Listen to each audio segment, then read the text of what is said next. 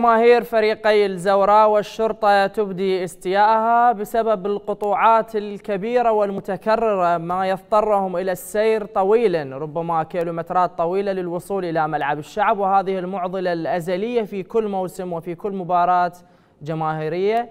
ما قادرين أن نلقى لها حل. نستمع لآراء الطرفين.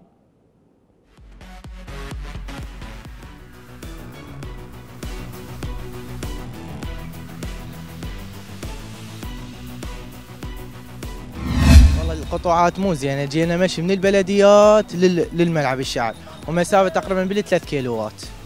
زين أنت كمشجع شلون شفت عملية بيع التذاكر؟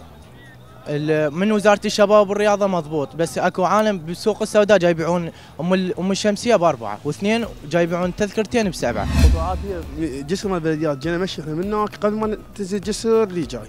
هي اللي يقربها شوية يقربها يعني هنا يخليه. لا مشجع يتعب ولا شيء. ويعني جاي نتعب يعني جاي روحه وجاي.